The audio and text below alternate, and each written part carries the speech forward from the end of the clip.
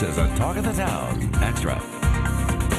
I'm Errol Rose. According to the latest allergy statistics, an average of two children in each classroom will have food allergies. And of those children, 25% had their first serious reaction happen at school. Dr. John Overholt with the Allergy, Asthma, and Sinus Center is here to tell us how to keep our kids safe while they're at school. Welcome, Dr. Overholt. Thanks, Meryl. So what do parents and kids and teachers need to know about food allergies? Well, education and avoidance are the most important things that you can do for a kid with food allergies. So you really have to be diligent about knowing what you're eating, where it's coming from, and being in control of the things that you're putting in your body. So what do food allergy symptoms look like?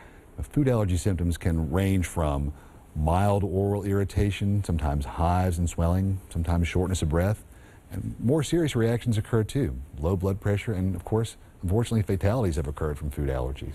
It's a much more serious problem than it used to be, it seems. Absolutely. The incidence of allergies is on the rise, and we're not really sure why that is, um, but certainly there are more and more kids who have serious food allergies every year. So how do we find out what we're allergic to?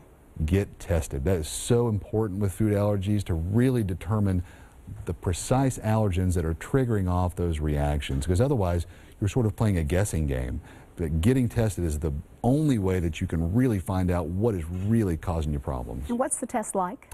Two ways you can do tests. You can do either a skin test, which are a little scratch test on the arm or back, or you can do a blood test. Okay. And then does that determine what you're tested for, and once you're tested, determines what you Precisely. That will to? tell you exactly what you're allergic to and what you're not allergic to. And then after that, that allows you to educate yourself about avoidance. All right, it's important to know. For more information, contact the Allergy, Asthma, and Sinus Center at the number you see on the screen or check their website, allergyasc.com.